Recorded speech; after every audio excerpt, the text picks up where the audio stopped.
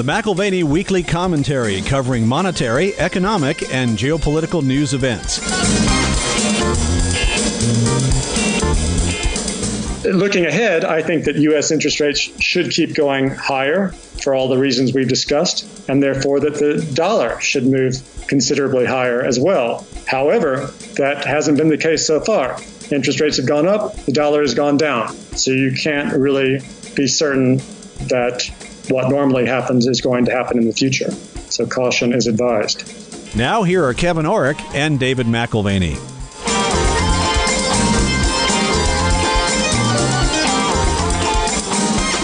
Welcome to the McAlvany Weekly Commentary. I'm Kevin Orrick along with David McAlvany. We have a guest today, Richard Duncan. You know, for eight years, we've been riding the wave of easy money. It's been in the form of quantitative easing as well as artificially low interest rates. Now, even the Federal Reserve themselves are telling us that it's time to reverse that tide, tighten the money, and even raise the interest rates. Now, our guest calls that destroying money. Asset prices and household wealth have risen with this tide of easy money. And so, after this decade, what will happen when the tide goes out and reverses like the Federal Reserve is talking about. Our returning guest, Richard Duncan, speaks with David McAlvany today to answer those questions and to pose some intriguing new questions. And while we don't always agree with all of Richard's conclusions, his explanation of our dilemma brings us clarity.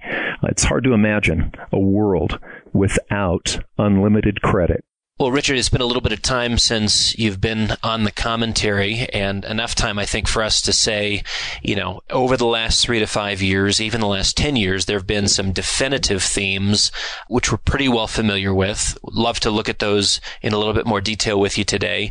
Where do you think the next three to five years differ the most from what we've just kind of walked through? First of all, David, it's great to be back on the show. Thank you for inviting me back. I always enjoy our conversations. So the thing that looks like is going to be very different from the last three to five years over the next three to five years is in the past, we had very accommodative monetary policy overall. And now that's changing. The Fed, after the crisis, cut interest rates to zero at the federal funds rate level and then created three and a half trillion dollars through quantitative easing and pump that into the financial markets, which caused asset prices to move significantly higher and brought about an economic recovery. And also in the past, the budget deficit came down quite significantly, at least in terms of as a percentage of GDP. At one time, it was 10% of GDP, the budget deficit, and now it's down to last year it was below 3% for the last few years, last couple of years. So that was a big change. So the government was borrowing less and the Fed was pumping a lot of money into the financial markets. Now looking ahead, this all changes 180 degrees. Suddenly, after the tax cuts and the February 9th congressional bill to increase government spending, we're once again looking at trillion dollar budget deficits for as far as the eye can see into the future. And so the government is going to be borrowing much more Last year, for instance, the budget deficit was around $670 billion. This year is much more likely to be a trillion, and next year 1.1 trillion, and then 1.2 trillion. Those are rough estimates, but it's moving in that direction. And on top of that, not only is the Fed not printing money and buying government bonds as it was doing between 2009 and 2014, now the Fed is doing the exact opposite. In effect, they are selling government bonds. Instead of creating money and injecting it into the financial markets, they are taking money out of the financial markets and destroying it, literally. Particularly since this is going on at the same time that the government will be borrowing much more. This is going to create a significantly tighter environment for money. You have the government borrowing more. You have the Fed simultaneously destroying money. And so it looks as though this is going to push interest rates higher. And that is going to create a much more difficult environment for the financial markets and the economy. Well, so here we are looking at Trump instigate a few things on the trade front, steel, aluminum, solar panels, a few things like that. And if we do, as he has expressed the desire to do, eliminate the trade deficit, what is the likely impact on capital flows into the United States even as we are facing larger budget deficits and a need for greater financing. Right. So this could be very significant for a couple of reasons. First, last year and for many years, the U.S. has had a very large trade deficit, a very large current account deficit. Last year it was roughly $550 billion.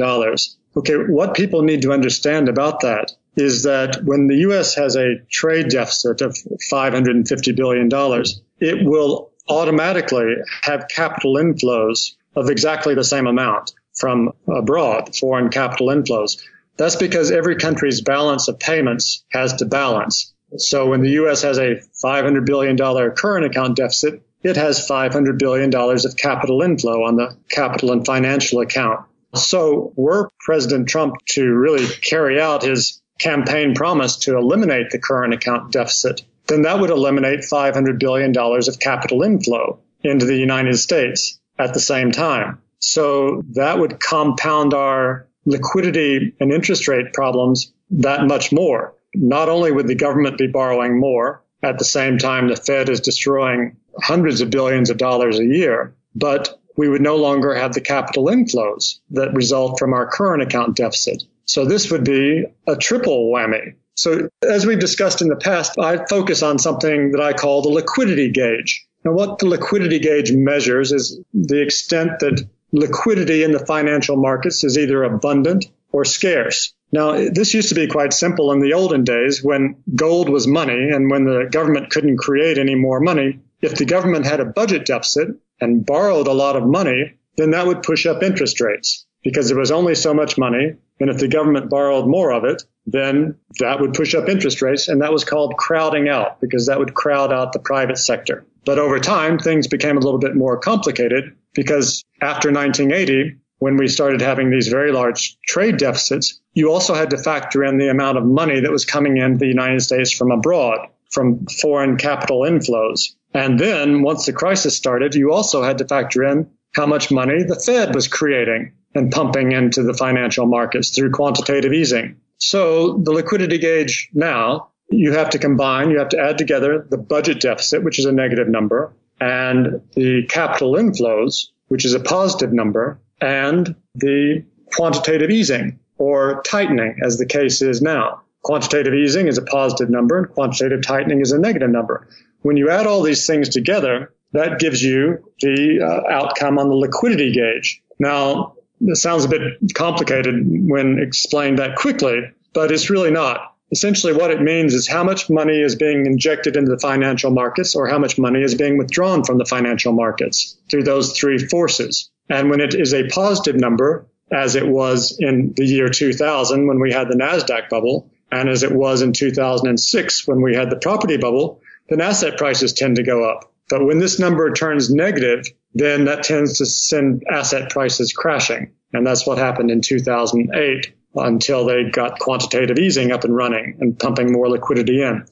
Now, as a result of these trillion dollar budget deficits and quantitative tightening, which is also draining liquidity out of the financial markets, even with the current level of capital inflows, that means the liquidity gauge is going to become more negative this year than it has ever been by far in the past. And it's going to become worse next year and worse the year after that. So we're looking at an unprecedented liquidity drain that should drive interest rates higher. And if interest rates go higher, that's really creating a toxic environment, not only for economic growth, but for asset prices. Yeah, we wonder about the symmetry within the markets if we have a rise in rates, does that negatively affect asset prices and to what degree? I mean, we've seen interest rates come down and that has been a part along with QE of driving asset prices higher. Does that symmetry hold and would you say it's even axiomatic that with the rise in interest rates, given these factors, quantitative tightening, the announcements of government spending, announcements of tax cuts, all of these things factoring in the elimination of the trade deficit or current account, the implication is higher rates and perhaps lower asset prices. And also, I would add potentially credit contraction. So I think we have to look at the dangers of higher interest rates in terms of how they will impact credit growth and also how they will impact asset prices. Now, on the credit growth side, back in 1980, the 10 year government bond yield was, it peaked at something like 14, 15%. And as it steadily came down, moving lower and lower year after year, that made credit more affordable. You know, the 10 year bond yield is now just 2.8% today. And so as credit became more affordable, the Americans borrowed more and spent more, and that borrowing and spending drove economic growth. So the ratio of total debt to GDP in the United States rose from about 150% in 1980 and went all the way up to 370%. The point now, and that economic, that borrowing and spending, that expansion of debt relative to the GDP, that drove economic growth in the U.S. and U.S. growth drove global growth. But now if we start to have significantly higher interest rates, then not only will credit not expand, credit will contract. And if credit contracts, that's going to throw the U.S. into a recession. Every time U.S. credit grows by less than 2% adjusted for inflation, the U.S. falls into recession. And we're not far from that level now. So that's one concern. And then the second concern is the impact that higher interest rates would have on asset prices. So just because of interest rates were cut to 0% at the federal funds rate level, and because of quantitative easing pumping so much new money into the financial markets, we have seen an explosion in wealth in the United States. Household sector net worth is now almost $100 trillion. That's up 70% from the low in 2009. And it's even 40% above the high in 2007. We now have $27 trillion more wealth than we did 10 years ago because of quantitative easing and low interest rates. And so this has pushed asset prices up to an extremely high level. In fact, if you look at something I call the wealth to income ratio, it's never been higher. So this wealth to income ratio, if you take household sector net worth as a percent of disposable personal income, in other words, wealth to income, well, the average since 1950 has been about 530%. In the NASDAQ bubble, it went all the way up to 613%, and then that popped and crashed. Then during the property bubble, it went up to 660%, and that popped and crashed. Now it's 675%. So it's never been higher, meaning asset prices have never been more stretched relative to income. And this has only been possible because interest rates have been so low. So if we do get a move up in interest rates, which looks very likely for the reasons we've discussed, then asset prices are vulnerable to a very significant correction. And if asset prices will fall, then we will have a negative wealth effect that will also tend to push the U.S. back into recession. So it would be a double whammy with contracting credit and falling asset prices. So interest rates are really the key about what's going to happen in the years ahead. And the outlook for interest rates is alarming. You know, we had the discussion of an exit strategy from Ben Bernanke, and then we had a variety of times where the idea of normalization was put out there. But it's as if Wall Street and investors have gotten used to lots of talk and no action and have somehow ignored the fact that interest rates bottomed in 2016, the summer of 2016, and have been rising for the last 18 months. 10 year treasury is more than double what it was off of a 136 low. It's more than double that today. Anecdotally, I spoke with a friend the other day purchasing a vehicle, and two years ago, 0% financing was common. At present, Toyota wants 6%. And so it's not a surprise, I guess, to see a slowing in auto sales, a slowing in the housing figures here recently. But there is ultimately an impact in rising rates in terms of the sectors and segments in our economy that are sensitive to the cost of capital. Autos being a big part of that, housing being a big part of that.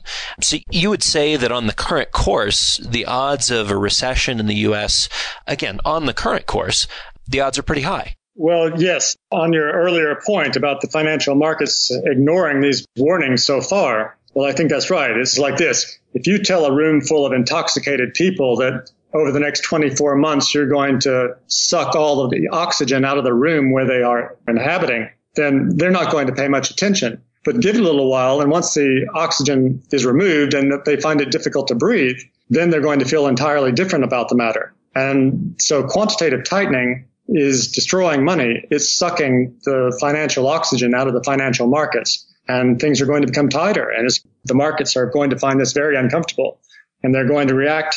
I think we've already started to see them react with this 10% correction in February once it became clear how much money the governments would be borrowing. Now, in terms of is there going to be a recession and when? Well, we have to see how this plays out. Now, what we've discussed up until now is the scenario under which policymakers actually do what they say they're going to do. Some of this is locked in. The budget deficits are going to be much higher. Now, the question is, will there be a trade war, which would reduce the current account deficit and reduce the capital inflows in the U.S.? We don't know about that yet. And will quantitative tightening really continue? Well, the Fed has given us a schedule about how much money they intend to destroy.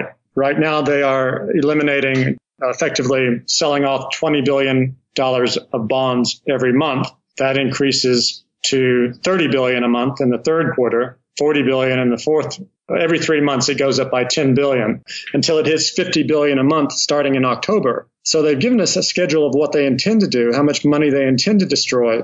But the question is, if the stock market has another big sell off, are they really going to stick with that schedule? Are they really going to continue with quantitative tightening or are they going to put it on pause? I think there's a real chance that the Fed would pause quantitative tightening. And if we truly had a, say, 25% correction in the market or even 20%, then there's a real possibility they would entirely reverse course and launch another round of quantitative easing to push the asset prices back up. So I think it would be a mistake to just forecast entire doom and gloom based on the current scenario that we're told to expect. Because as the environment becomes worse, the scenario is likely to change. The Fed will probably stop quantitative tightening and even reverse it if necessary.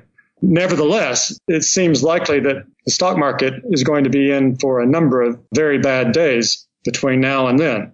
So, and everyone should expect a great deal more volatility in the stock market in particular and an increasingly weak property market.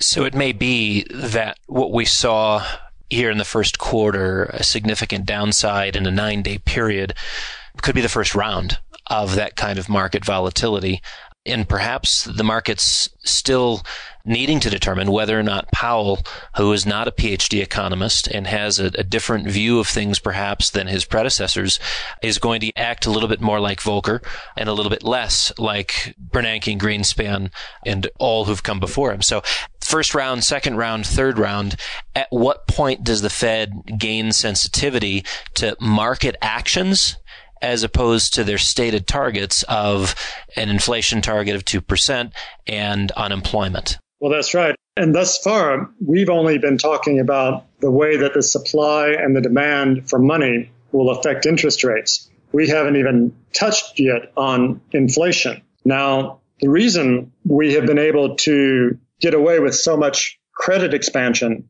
and paper money creation through quantitative easing in the United States and Japan and Europe and all around the world. The only reason we've been able to get away with so much paper money creation without extremely high rates of inflation is because we've had globalization. And globalization has been extremely deflationary. It has driven down wages in the developed economies and has pushed down the cost of all manufactured goods. This has been going on starting since around 1980. And that's why interest rates fell because inflation fell.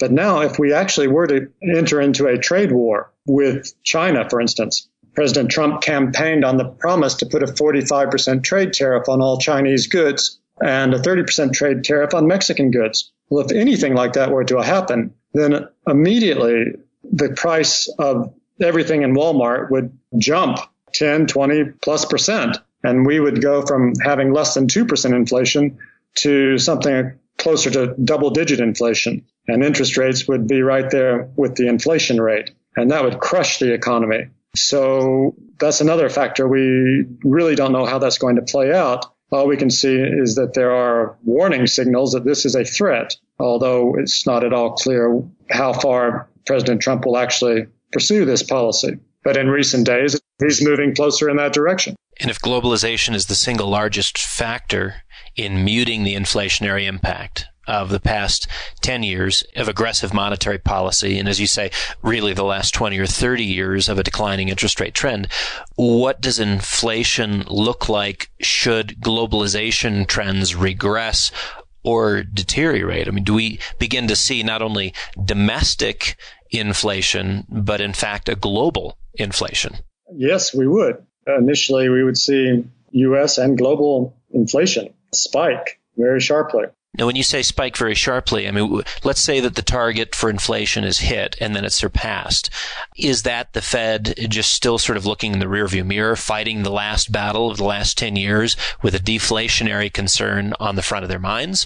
And is there implications if inflation does spike does a spike to the Fed, is that a move to 3% in a very short period of time, or are you talking about something far more significant? If we had a trade war with China, we're talking about a spike in the near term within a year to six, potentially even 8% inflation, perhaps, because we buy all of our manufactured goods from extremely low wage countries. If we stop doing that, then we'll have to start manufacturing them again in the United States where wages are much higher and starting from a point where we have what is 4% unemployment. So it's nearly full employment now, or perhaps full employment now. So you'd get much higher wages and we would return to a period at like the 1960s and 1970s when too much government spending by President Johnson and President Nixon, those budget deficits of President Johnson and President Nixon, they led to very high rates of inflation because at that time, the United States had a relatively closed economy. We didn't have a trade deficit. We didn't begin to have a trade deficit until after 1980. So Paul Volcker crushed the very high rates of inflation that resulted from the very large budget deficits in the 1960s and 70s. Volcker crushed that inflation in 1980. But no sooner had he crushed it than President Reagan started running even more aggressive budget deficits, much larger budget deficits than President Johnson or Nixon did. But we didn't have a return to inflation in the 80s and afterwards because something very fundamental had changed. Suddenly, we no longer bought everything in the United States. We no longer had a closed domestic economy. We had a global economy with an infinite supply of low cost labor and a very large supply of industrial capacity. So even though the government ran enormous budget deficits under President Reagan and stimulated the economy very nicely that way, it didn't result in inflation because globalization drove down prices. But if we move back to a period where we once again have high tariffs and a closed domestic economy, then the government stimulus that's resulting from trillion dollar budget deficits in our future, that would once again immediately lead to another period of Johnsonian like inflation rates of the 60s and 70s. I want to come back to uh, discussion on safe haven assets, but if our listeners are interested, Richard, in following your macro watch video series and blog on a routine basis, what's the best way for them to plug into that? It's been very valuable for us. We look at it as often as they come out, and uh, maybe you could share with them a little bit about how to access macro watch. Okay, thank you, David. Yes, so MacroWatch is a video newsletter that I publish every two weeks or so, I upload a new video discussing important developments in the global economy and how I think they're likely to impact asset prices. And within these videos, there is a lot of focus on credit growth, what drives that, and the outlook for that, but also on monetary policy and trying to anticipate what the government's going to do next and how that will impact interest rates and asset prices. So if your listeners would like to check it out, and I hope they will, they can visit my website at richardduncaneconomics.com. That's richardduncaneconomics.com. I'd like to offer your listeners a 50% subscription discount. Normally, Macro Watch costs $500 a year, but if they use the discount coupon code commentary, they can subscribe for $250 a year. And with that, they will have immediate access to the 42 hours of videos that are in the Macro Watch archives. They can begin watching those immediately, and they'll get a new video every couple of weeks for the next year. And at the very least, I hope they sign up for my free blog while they're there, and they will see more about topics that I discuss in my videos. I highly recommend Macro Watch. You know, there's the issue of rates having been in a declining trend for nearly 40 years, of course, in fits and starts and not on a straight line down. But since the 80s, rates have been coming down. And in a rising interest rate environment, I wonder, and, and also potentially in a rising inflationary environment, I wonder if treasuries get the same sort of safe haven traffic that we've grown accustomed to over the last 30, 40 years. Well, so no, I don't think they will. Of course, if we start to have more government borrowing and with the Fed selling the bonds that it owns now, effectively selling the bonds that it owns, the government bonds, then this fundamentally alters the supply and demand of government bonds. So with the government borrowing more money to finance its budget deficits, then that's going to push up the interest rates on those government bonds. And when the interest rate on the bonds go higher, the price goes lower. So if we do move into a higher interest rate environment, that means the yield on the government bonds will be moving higher and that the price on the government bonds will be moving lower. So no, the bonds won't be a safe haven, uh, the government bonds in some respects, it sounds like an echo from the 1968 to 81 period. And what in that period and what in this period would you consider reasonable safe haven choices if, in fact, treasuries don't fill that bill any longer? Well, I really think that what we've seen in recent decades is an explosion of credit as credit, I like to say, has slipped its leash. Once we stopped backing money with gold. That allowed credit creation on a much greater scale than was possible before and by the central banks. And at the same time, money creation through the banking system also radically expanded. And that's because the Fed reduced the required reserve ratio on how many bank reserves the commercial banks were required to hold. And the lower the level of reserves that the banks were required to hold, that meant the money multiplier expanded. So the banking system was also able to create more money. And then on top of that, a third source of money and credit that is a new source started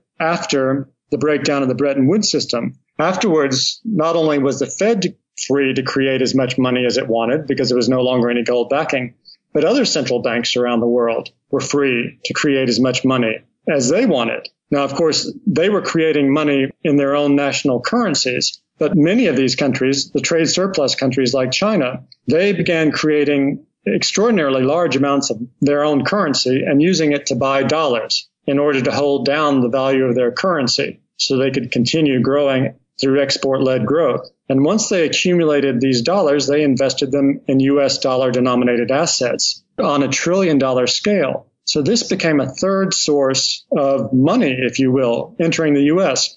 The first source was the Fed creating money. The second source was the banking system creating money. But after 1980, you actually had a third source, the central banks of other countries creating their own money, buying dollars, and then pumping those dollars into U.S. dollar denominated assets like U.S. government bonds. So it was no longer just a matter of the Fed creating money and monetizing the U.S. government debt. In other words, printing money and buying government bonds. After 1980, we started seeing other central banks create money, buy dollars, buy U.S. government bonds, and monetize U.S. government debt on a much larger scale than the Fed has been doing. So by 2008, other countries, the rest of the world, they had bought up 45% of all U.S. government debt. So this was an extraordinarily important development that most people have entirely overlooked. That it wasn't just the central bank of the United States printing money and monetizing U.S. government debt. On a much larger scale, it was foreign central banks printing money and monetizing U.S. government debt. And so this is another reason that U.S. government bond prices went up and U.S. bond prices went down. And this is another thing to worry about because this occurred because they had a trade surplus with the U.S. If their trade surplus with the U.S. goes away, then they will no longer have the dollars to buy any more government bonds. Uh, they would be able to monetize less U.S. government debt, and that would be another reason interest rates would climb significantly higher. That underscores why treasuries are less likely to be a safe haven choice. What would you personally consider to be a reasonable safe haven choice in a world where stocks are expensive, bonds are expensive. On a relative basis, you could say perhaps the emerging markets are cheaper, but you see an, an increase in, say, the value of the dollar and you could end up seeing a blistering decline in the emerging markets. I mean, is there a place that you can go, an asset class that you can go that you can consider a safe haven? Yes, so thank you. So what I was trying to lead up to was there's been an explosion of credit creation for all of the reasons that I described. And this credit, it has created an ocean of liquidity. And it, all of the asset classes are floating on this ocean of liquidity. As long as credit expands, then all the asset prices move up together. But if credit begins to contract, then all of the asset prices move down together. So if interest rates go higher, then credit's likely to contract, the tide is going to go out, and all the asset prices are going to move down together. So I really don't see any safe haven in absolute terms. You may be aware of Doug Nolan's work with the Credit Bubble Bulletin and, and, his management of funds with Federated and the Prudent Bear Mutual Funds through the years. He joined our team this last year to manage a tactical short, in part because there are so few places to go to safeguard assets and to create liquidity in the context of a downturn. This is the reality is there's virtually no place to go. Now, our opinion on precious metals is, and particularly with gold, is perhaps similar and perhaps different. We've had a dollar decline over the last 12 to 18 months, which may have supported a move higher in gold, but we've also had an increase in interest rates, which certainly has not kept the price of gold from moving higher. Are there thresholds? Are there thresholds where either dollar strength or a rise in interest rates begin to put pressure on precious metals because at least in the last 12 to 18 months, and we certainly saw this in the 1968 to 81 period, metals did very well in the context of rising inflation and rising interest rates. Well, first of all, let me say that I have enormous respect for Doug Nolan. I have been reading Credit Bubble Bulletin for 20 years, even before I wrote my first book, and I learned an extraordinary amount from Doug. So please send him my thanks. I've never actually met him. So yes, congratulations on having him on your team. I think he's great. Now about gold. Well, so there is a very close inverse correlation between the dollar and commodity prices, including gold. If the dollar gets stronger, the commodity index gets weaker. And if the dollar gets weaker, commodity price index gets stronger. Now you mentioned the 68 to 81 period. Of course, that's when gold had its extraordinary surge. But you have to keep in mind that Americans were not allowed to own gold between 1933 and 1975. So gold prices were unnaturally suppressed by that factor. And then in 75, they were allowed. And at the same time, in the early 70s, you had the Bretton Woods system breaking down, where suddenly the dollar was no longer pegged to gold. And everyone really expected financial Armageddon and had no idea what to expect. So the price of gold was, the dollar was devalued initially in 1971, and that drove gold prices higher. People were panicking, and that drove gold prices higher. So I think that was an exceptional period. And I would look more to its more normal pattern. When the dollar goes higher, then gold goes lower and oil goes lower. And so if we do look ahead where we see higher U.S. interest rates, then under normal conditions, higher U.S. interest rates make the dollar move higher. But what we've seen recently is very baffling. We have seen the U.S. Fed starting at the end of 2015 very gradually hiking the federal funds rate at the short end. And then more recently, actually reversing quantitative easing beginning in October last year, which is tightening on the long end, trying to push up the longer term interest rates. And this has been occurring at the same time when the European Central Bank is not only not tightening monetary policy, last year the ECB was up until December, they were still doing quantitative easing at the rate of 60 billion euros per month. Now that's been reduced to 30 billion euros a month since January, but they're still creating money, which is a very loose monetary policy. And in Japan, and of course all the European government bond yields, even in Spain and Italy, their interest rates on their government bonds are considerably lower than U.S. interest rates, which suggests that the dollar should be stronger as money moves into the dollar to take advantage of those higher interest rates. And then Japan, the Bank of Japan is still printing money like crazy. They have bought up now 40% of all Japan's government debt. And Japan's government debt is now 250% of Japan's GDP. They've bought up 40% of it, and Japanese interest rates are essentially 0% on 10 year government bonds. Or if you want to be technical, they're five basis points. So those large countries have extremely loose monetary policy. The U.S. monetary policy is tightening. U.S. interest rates are higher than their interest rates. That should push the dollar higher. But the dollar has not been moving higher over the last year or so. The dollar's actually been moving lower. And this is quite a mystery. There's no fundamental explanation for this. So let me throw out this possibility. And this, of course, is only a possibility. I cannot substantiate it. But I believe there's some possibility that the current administration is acting to depress the value of the dollar. We saw the Treasury Secretary a month or two ago at Davos talk down the dollar. And the Treasury Department has an enormous capacity to push the dollar lower if it chooses to do so through the opaque derivatives market. No one can see what's going on in the derivatives market. No one could find out. No one would know. So it really couldn't be that difficult for the Trump administration to drive the dollar down. And after all, all through his campaign, he said repeatedly that he preferred a weaker dollar. And a weaker dollar is what we're getting. And so I just throw that out as one possibility for the explanation for this mystery of why the dollar's going down, even though U.S. interest rates are going up. So looking ahead, I think that U.S. interest rates should keep going higher for all the reasons we've discussed, and therefore that the dollar should move considerably higher as well. However, that hasn't been the case so far. Interest rates have gone up, the dollar has gone down. So you can't really be certain that what normally happens is going to happen in the future. So caution is advised. Looking ahead, there are pockets of investors who sort of rank in terms of intelligence and interest in anticipating trends. Everyone wants to know the future, but it seems like the foreign currency markets are particularly sensitive to policy changes. The fixed income markets are also very geared towards shifts in long-term trends and anticipate that far better than equities markets. So perhaps it's not a surprise to see changes in the foreign currency market, also changes in the fixed income market, and very little change thus far in the value of equities, where equities sometimes get it last.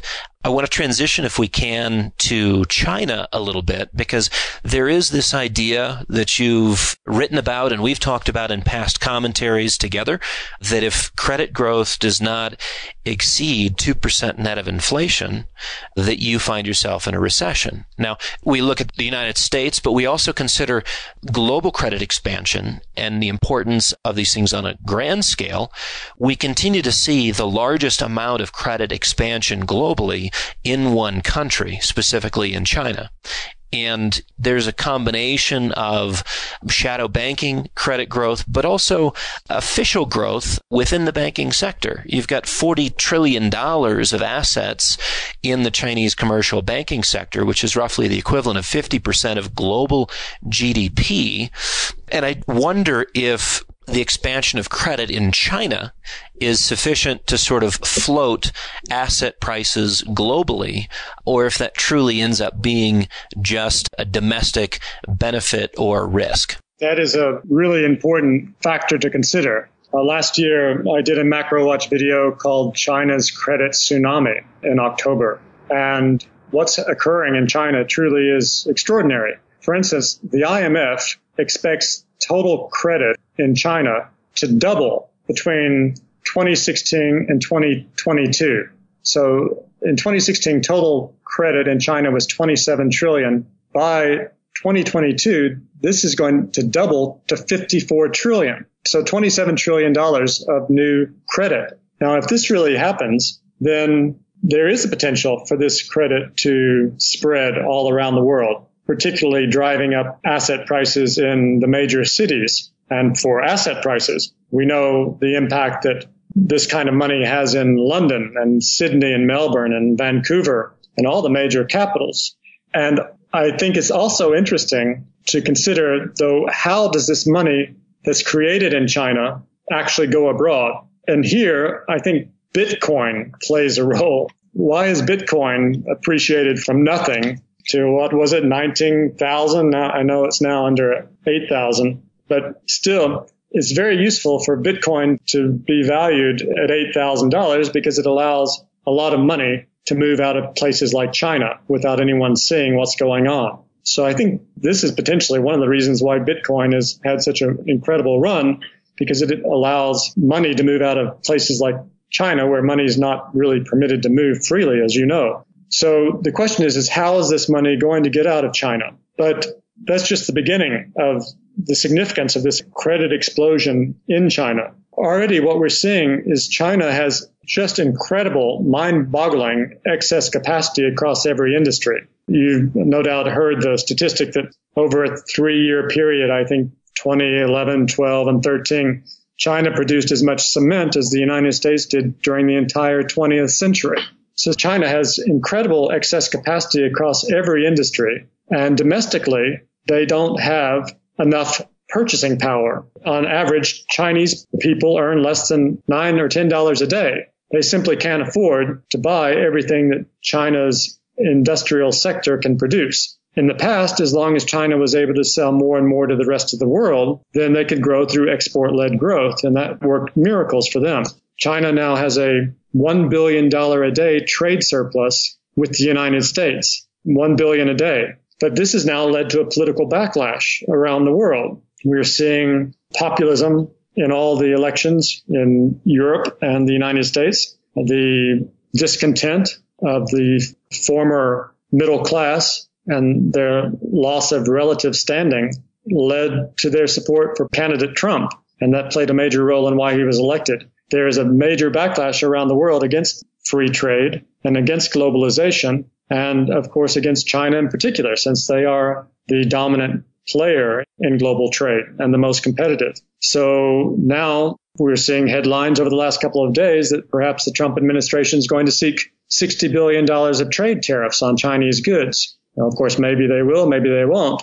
But it looks as though it's going to be increasingly difficult for China to continue to drive its economy through export led growth when there's a global backlash against exactly that who is going to consume everything that China is going to be able to produce if they double their credit over the next five years. If people don't buy the goods they produce, then the producers will be loss making and that will destroy the deposits that people believe they have in the banking system in China and potentially causing a fatal systemic collapse of their financial system. So we have the mercantilist model where export driven growth has been what has developed Chinese prowess since Deng Xiaoping to the present. And you would argue that globally and certainly in the United States, economic growth is driven by credit growth.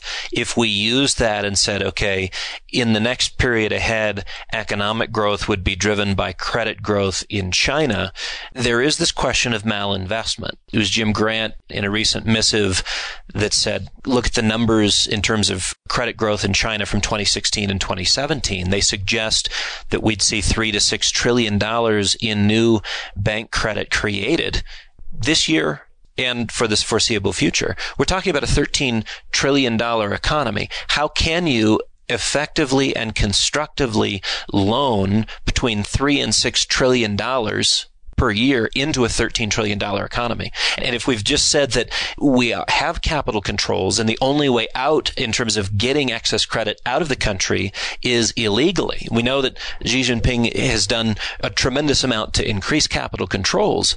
Aren't you really talking about just an absolute mushrooming of credit within China and an absolute uh, I, I, don't, I don't know how to say it, but I mean, one of, one of the greatest periods of malinvestment perhaps in all of world history. Yes, you are. But at the same time, you can look at this from a different angle. If China can really continue with what it's been doing, if it can really carry on and double the amount of credit that it creates over the next five years, credit is power. And just imagine the investments they could make with $27 trillion.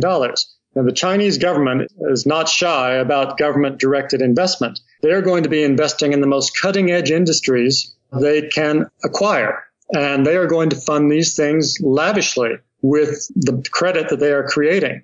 So we're going to see China very quickly moving toward green energy. So they will no longer have any dependence on oil. They have more electric cars than anyone else. And they're moving very rapidly in that direction. But you can also anticipate that they're going to be acquiring around the world every high tech industry they're allowed to buy. And at the same time, investing, throwing money into research and development, into education, into developing the best and the brightest PhD students in genetic engineering, biotech, nanotech, all the industries of the future. And if their bubble doesn't implode sometime soon, these investments directed by the government in new industries and new technologies, that will make China the superpower of this century. This will be China's century. And you and I both agree that the limits to credit growth are what the borrower is able to pay in terms of interest. So I mean, it, this really begs the question within China, who pays for this massive credit expansion? Who ultimately is paying interest? Or are we talking about something that is irrelevant in a command and control economy? Your thoughts? So who pays is one source of funding for this credit that has been the most crucial source up until now has been China's trade surplus, primarily with the U.S. As long as China has a billion dollar a day trade surplus in the U.S., that money goes into China's banking system, and that provides the funding that allows this credit to expand. Now, also, the banking system itself can create credit through fractional reserve banking, and China's required reserve ratio is still relatively high, roughly 8 or 9 percent. If that is lowered, then that gives the banking system the ability to create more credit. Now, how much of the debt that's been issued, how much of the loans that the Chinese banks have already made, how many of them are really truly performing? Well, it's very hard to know because as long as the banking system continues to pump out 15% more loans this year than it did last year, then everyone has enough money to pay the interest on the money that they've borrowed in the past. And as far as the banks, banks aren't bankrupt until the government says they're bankrupt. And in China, the Chinese government has no intention of reflecting how bankrupt the Chinese banking system might be. So the ability for credit creation to carry on in China is still there. But if we were to have a trade war and they suddenly lost access to this incoming $1 billion a day on their trade surplus with the U.S., that would make their liquidity situation much less comfortable and they would find it more difficult to keep credit growing at the rate that it has been. And that could lead to an implosion of the banking system. So we go back to where we started, and perhaps we can end on this point, but you know, we were talking about Trump's trade war and, and his desire to eliminate the trade deficit. And yes, that does create a funding issue for our budget deficit. It may even throw us into a recession. Could there be some calculus in the Trump administration that if we suffer a little, perhaps our competition around the world suffers a lot. Because when you look at the nature of essentially Ponzi finance within China, their credit expansion, which is dependent on growth and it grows and it's dependent on the growth that came from the year before and it just kind of continues until it doesn't.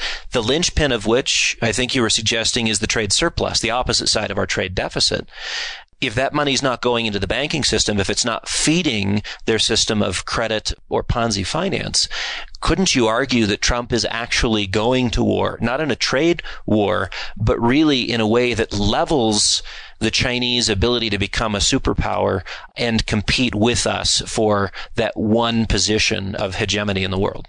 Yes, I think on one level they certainly understand that he has said recently it's easy to win a trade war when you're being taken advantage of by all the other countries. Well, it's not exactly fair to say the United States has been taken advantage of because it has been the U.S. corporations themselves who made the decision to move to China. As a result, they've driven down their wage cost and their profits have risen and their CEOs have all earned very much larger bonuses than they would have otherwise. And the U.S. banking industry has benefited from this arrangement as well, the financialization of the global economy.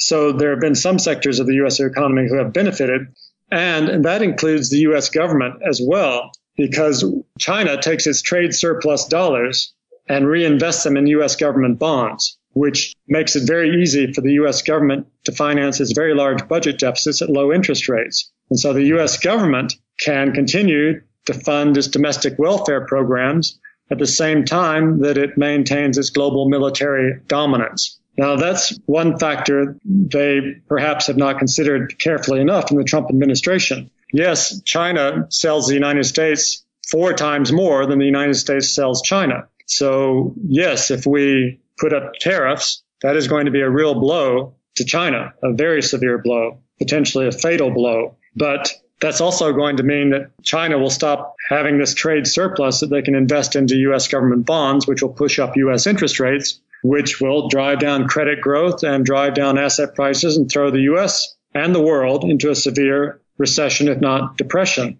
And another factor that everyone had better take on board is if China's economy, which probably is the greatest bubble in the history of the world, if it were really to implode, if we were to have an all out trade war with China, and put up a 45% trade tariff as candidate Trump said he would do, then China's economy would implode. Tens of millions of Chinese factory workers would lose their jobs. There would be potentially extreme political unrest within China, and the geopolitical consequences of that would be extreme. What would China do in a situation where its economy is imploding and unemployment is skyrocketing?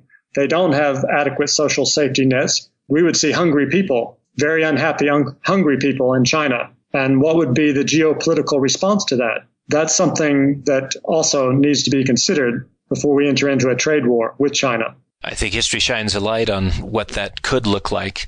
You know, I want to come back to uh, your mention of Macro Watch earlier. I know you're going to be doing some real interesting work on the changing nature of money. Uh, one of the most recent Macro Watch video series that you did was on money. It ain't what it used to be. And I think that some of the nuts and bolts that you cover there are really vital for people to understand in this changing world of money, credit, and the financial flows within the financial system, but also around the world. So please take advantage of the generous offer the half off subscription and dig into the archives as well as looking at the changing nature of money. I think there were so many things that we could have covered today dealing with fractional reserve banking and required reserve ratios and what has enabled the growth of credit beyond what the Federal Reserve can actually manage themselves. They've lost control of the credit markets, as you effectively argue in the most recent credit watch.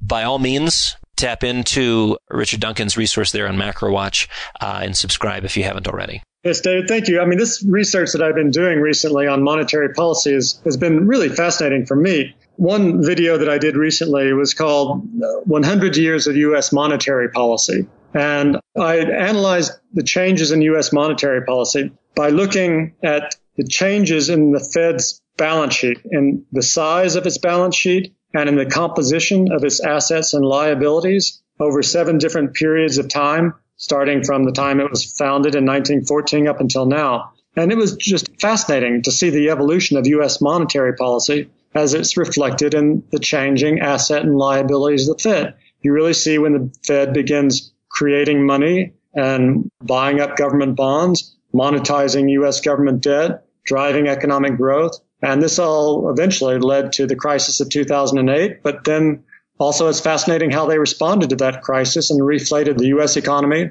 very successfully after the crisis struck. So really, in order to understand how the economy and the financial markets work in the 21st century, it's absolutely essential to understand monetary policy. And so, yes, I do hope your listeners will take a look at Macro Watch. Well, we'll look forward to having you back on the program.